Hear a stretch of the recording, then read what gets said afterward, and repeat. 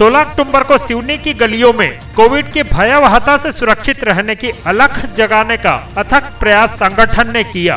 प्रशासन द्वारा चलाए जा रहे कोरोना के प्रति जन जागरूकता अभियान रोको टोको कार्यक्रम के अंतर्गत सिवनी की प्रतिष्ठित एवं जिम्मेदार संगठन मातृ शक्ति संगठन के कंधों पर यह ज़िम्मेदारी दी गई थी कि वे सिवनी नगर के अनजान कोरोना महामारी की भयावहता से परिचित कराते हुए सतर्क और जागरूक करे। मातृ शक्ति संगठन युद्ध, विंग समर्पण युवा संगठन ने बड़े ही संवेदनशील और तन्मयता से प्रशासन को भरपूर सहयोग देते हुए कर्तव्य निष्ठा का परिचय दिया।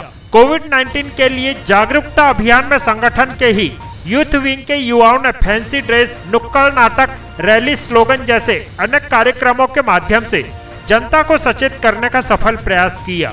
इसी कड़ी में संगठन द्वारा विशाल संदेश यात्रा निकाली गई। संगठन के सदस्य निर्धारित ड्रेस कोड में एकत्रित हुए और दशहरा मैदान पहुंचकर कोरोना के प्रति स्वरूप विशाल पुतले का दहन किया। सुप्रीम पावर न्यूज़ के लिए विमल चौबे के साथ देवेंद्र ठाकुर की रिपोर्ट।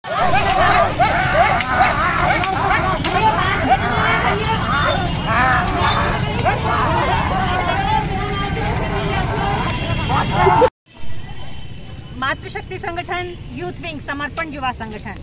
विगत छह माह से कोविड 19 के बारे में आम जन को समझा रहा है। प्रशासन के निर्देशन में रोको टोको अभियान, एक मास्क, एक ज़िंदगी अभियान, सभी में मातृशक्ति संगठन ने अपने युवाओं के साथ बढ़ चढ़कर हिस्सा लिया है।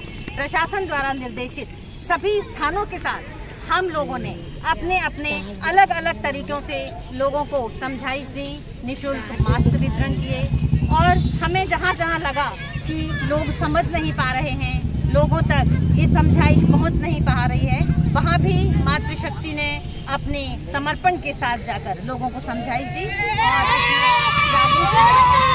मैं आज के दिन हमने अपने देश से अपने विश्व से कोरोना की विदाई के लिए प्रतीकात्मक एक समापन किया है, जिसमें हमारे युवाओं ने पूरे शहर में कोरोना को लेकर एक अच्छा प्रदर्शन किया, एक झांकी प्रस्तुत की, लोगों को अवेयर किया और उसके बाद हमने दशहरे मैदान में आकर अपने सफ़ाई कर्मी पुलिसकर्मी और डॉक्टर्स के साथ में कोरोना का दहन किया है, जिसे प्रशासन ने भी बहुत सराहा है और मैं आज आमजन से, देशवासियों से अपील करती हूँ कि ये कोरोना की विदाई एक प्रतीकात्मक विदाई है। अभी भी हमें सावधान और सुरक्षित रहना है। कल से नवरात्र प्रारंभ होने जा रही है।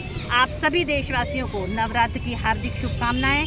इस त्यौहार को खुशियों से मनाने के लिए हमें प्रशासनिक सरकारी गाइडलाइंस का पालन करना है ताकि हम इस त्यौहार को खुशी से, अच्छे से मना सकें। जय हिंद, जय कोरोना जैसी वैश्विक महामारी के चलते मातृशक्ति संगठन, यूथ विंग समर्पण युवा संगठन द्वारा निरंतर लोगों की मदद की गई है। हर तरीके से अपने अपने प्रयासों से उन लोगों की मदद की गई है। और रोको टोको अभियान के तहत, जिला प्रशासन रोको टोको अभियान के तहत मातृशक्ति संगठन, यूथ विंग समर्पण युवा संगठन का चयन हुआ था, जिसमें कि मातृशक्ति संगठन द्वारा निरंतर विगत दस दिनों से नगर कर, नगर के चौक चौराहों में अलग अलग तरीके से लोगों को जागरूक करने के लिए कि लोग नियमित मास्क पहने। और जैसे कि शासन द्वारा निर्देशित था कि व्यापारी भाइयों से हम मिलें और उन्हें समझाएँ कि जिन ग्राहकों ने मास्क पहना हो, उन्हें ही सामग्री दें। तो हमने निरंतर अपने तरीके से भरपूर सहयोग दिया है प्रशासन को और अपील भी की है आमजन मानस से। और इसी तारतम्य में हमने आज संगठन द्वारा रोको टोको अभियान का समापन किया है, जिसमें हमने कोरोना का एक पुतला बनाया और कोरोना की झांकी पूरे शहर में निकाली, नगर में निकाली और एक संदेश दिया। और आज हमने ये पता दहन किया है Urdu school bus stand ground में, ताकि लोगों में समझाइश हो और संगठन द्वारा निरंतर लोगों को समझाइश दी गई है कि इस वैश्विक जो महामारी है, इसे हल्के में न लें, ये बहुत गंभीर बीमारी है। और नियमित मास्क का उपयोग करें और इससे बचने का प्रयास करें। जय हिंद।